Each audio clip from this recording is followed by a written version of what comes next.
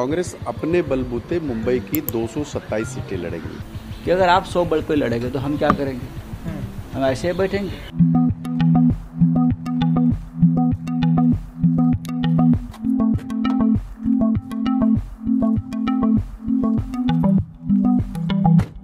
कि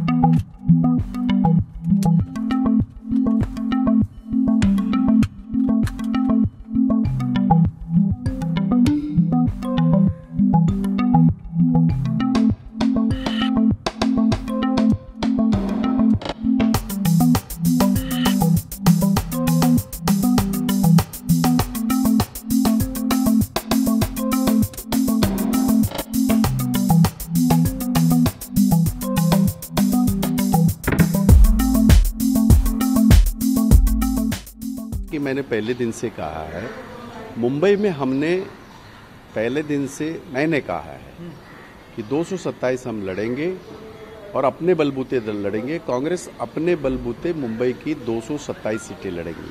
महाराष्ट्र का मुझे पता नहीं है पर, पर कल का जो कार्यक्रम देखा उसमें बहुत सारी बातें हुई पर मुंबई में इसके पहले भी हम सत्ता में रहते हुए भी हम अलग अलग लड़े हैं। जैसे कि 2000 साल से, निन्यानवे से हम 2014 तक जब सत्ता में थे तो उस वक्त भी राष्ट्रवादी, कांग्रेस, अब ये समाजवादी, आरपीआई के कुछ गुट, हमारी गठबंधन की सरकार थी। पर इलेक्शन में, मुंबई के, कॉरपोरेशन के इलेक्शन में हम अलग अलग लड़े 2012 का एक ये है, एक्सेप्ट मतलब 2012 में थोड़ा सा हमने कोशिश की, पर उससे फ़ायदा नहीं हुआ। उससे फ़ायदा ज़्यादा नहीं हुआ। मुख्यमंत्री का जो अपने पक्ष को लेकर के बातें कही उन्होंने चुनाव को लेकर के बातें कही स्वबल की बात कही है उसको लेकर के देखिए कल जो शिवसेना का पचपनवा वर्धापन दिन रहा शिवसेना को कल पचपन साल पूरे हुए। तो कल मुख्यमंत्री जी यानी हमारे पार्टी के चीफ उद्धव ठाकरे जी ने जो संबोधन किया है उसमें पार्टी की दिशा को एक निर्देश दिया है आने वाले दिनों में पार्टी की भूमिका क्या रहेगी ये बताया है।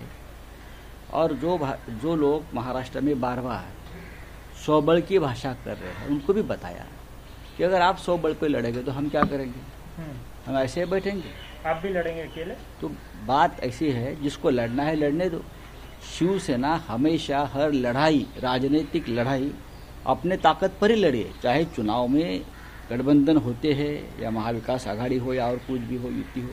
लेकिन लड़ाई जो होती है वो अपने ताकत पर लड़ी जाती है। हम्म, चाहे गठबंधन में हो या न हो हमारी ताकत है हम किसी भी विषय पर किसी भी विषय पर राजनीति। हम्म, जो महाराष्ट्र की अस्मिता का हो शिवसेना के अस्तित्व का हो अगर हमें लड़ना है तो हम लड़ेंगे।